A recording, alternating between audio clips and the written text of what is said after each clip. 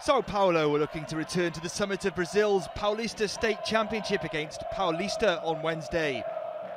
Looking for their fourth win in a row, the visitors took the lead just before the half-hour mark. Luis Fabiano finished from close range for his fourth goal in four matches.